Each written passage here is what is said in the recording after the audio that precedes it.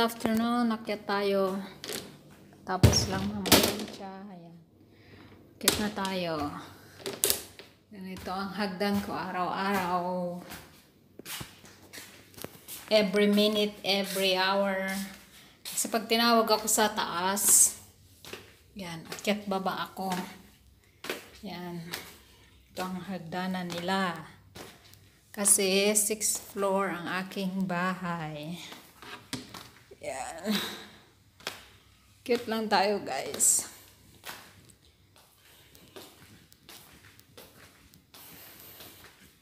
Hagdan ang papakita ko sa inyo. yan. Araw-araw yan guys, sinakyat ko. Yan. Yan nakakapagod. Pag tumagal-tagal pa siguro dito, wala na. Maano na ang ano. Yan. Nagdanan pa yan, yung papuntang ano niya yan, pisina niya. Yan, nagdanan guys. O, ba? Ano tayo ng damit.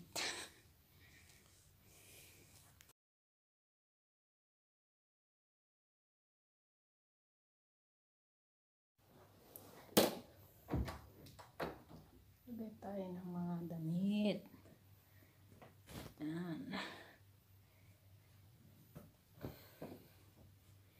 Hiningal agad ako. Ayan.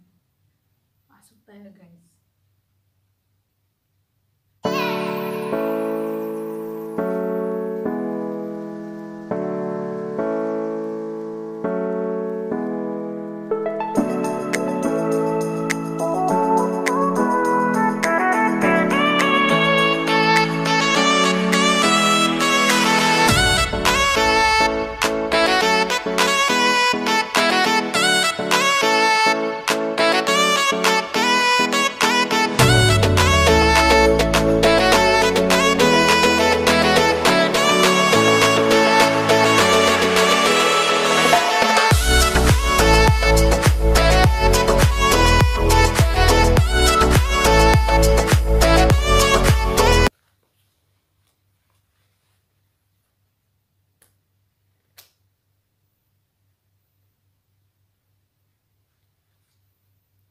Sarap lang may katulong guys, no? May tagalaba, may tagasampay sa damit, taga-plancha. Ganda yung style ng ano nila kasi parang isang kwarto siya. Puro mga damit lang.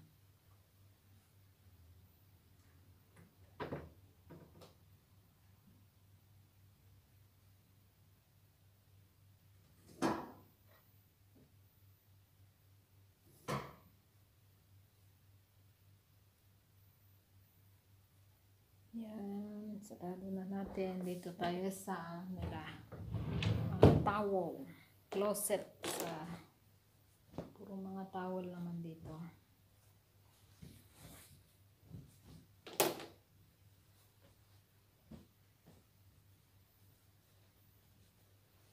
Gusto nila yung niro-roll para maliit lang ang space.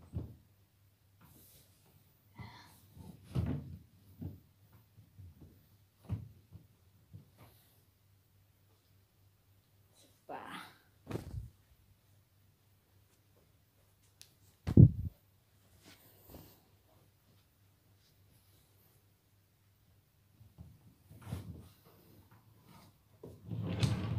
Ito ang trabaho guys bilang isang OFW.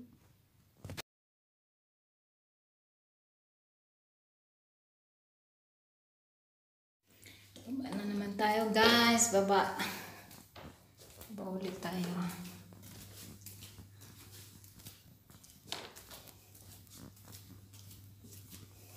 Kapagod. Yan o, inaakyat ko araw-araw yan. Pinaka-exercise.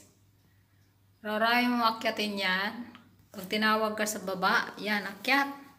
Takbo ka na naman.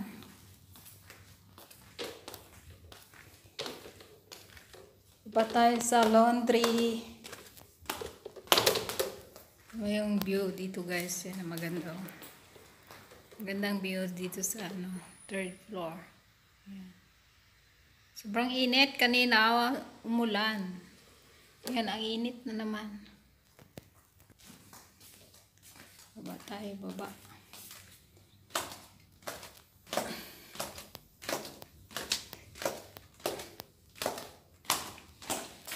Yan ang stairs. Oh. Saan kayo dyan?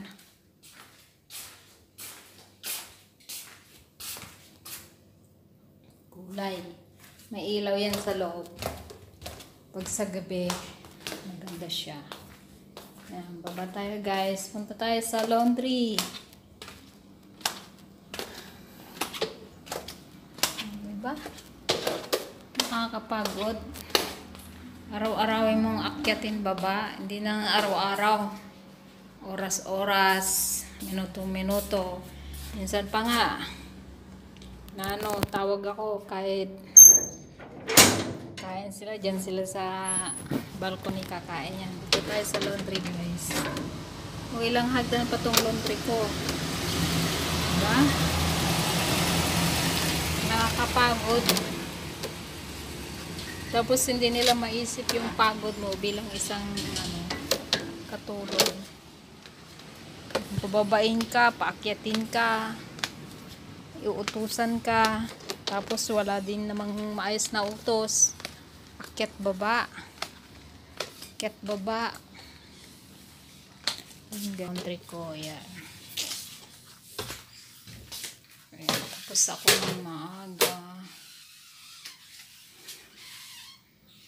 Tapos ako ng maaga. Kaya, magano muna ako sa ano, premiere. Ayan guys, may tanlad din ako guys. Yan o, tanlad. Saka papaya. Tagal na nito, eh. isang taon na. Nabansot naman na siya. Yung papaya ko. Nabansot, nabansot. Nabansot siya kasi hindi maganda yung lupa siguro. Yan. Two months na lang. Bye-bye na ako sa tanlad. May aloe vera din ako na tanim. Dami pa dun sa harap. Pinaglalagay ko sa puso. Kiyat na naman tayo guys.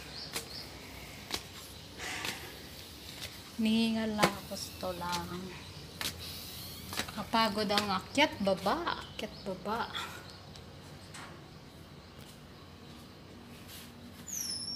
Tarado natin yung pinagtuan sa back door.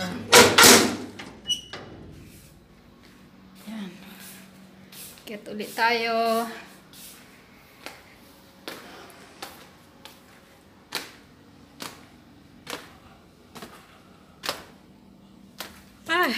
Nakakapagod guys yung akyat baba. Ano, pagod na pagod ka na. Yan. Yan. O, akyat ka na na mamaya. Pagpunta sa kusina. Ba guys?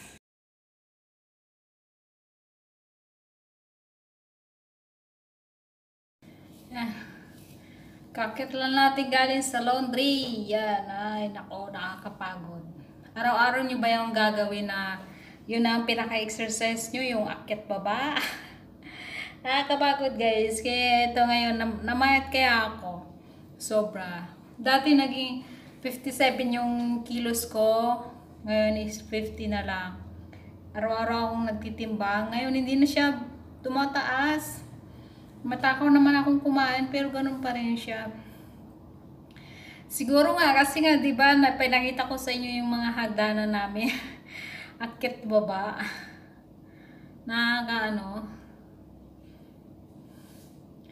Nakakapagod araw-araw mong akyat baba. Hindi lang akit baba kasi pag tinawag ka sa taas, kailangan mo umakyat, kailangan bumaba. Kaya minsan nagsusungit ako sa kanila. Masungit kaya ako sa kanila. Kaya nakakapagod. Hindi naman porkit katulong kayo isipin naman sana nila yung pagod mo na akyat baba. Hindi yung minsan na lang ang iutos. Maya maya, pahingi ako ng kape, pahingi ako ng milk tea. Yan. Nakakapagod, di ba yung akyat baba? Sinusungitan ko kaya sila. Kaya lang, tis-tis lang tayo guys. Dalawang buwan na lang ay lilipat na ako sa aking bagong amo. So, kaya mag-tiis lang. Lumabas sila guys, kaya ay maka pahinga-pahinga din. Patayin natin yung pan. Punta tayo sa labas. Check natin yung alaga kong aso.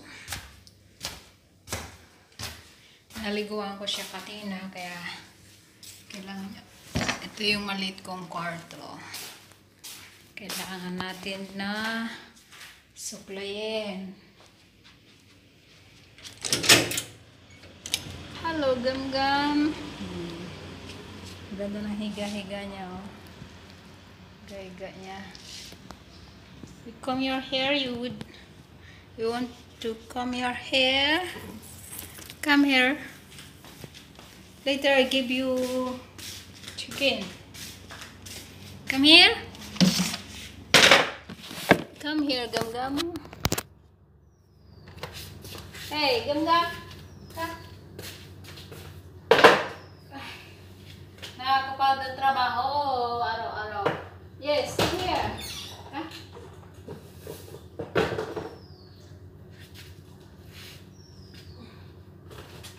Binibigyan ko siya ng feed, guys.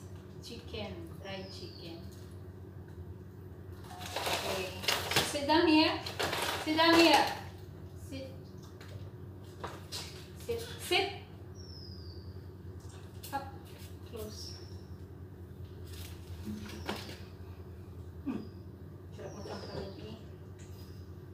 Pinaliguan ko siya kanina, kaya kailangan suklayin yung buhok niya. Siguro ha. May tuyo ka pa rin. Kulang yung shampoo mo. Hmm. Back. You're very lazy. Gigigil ako sa kanya guys pag ganito nga.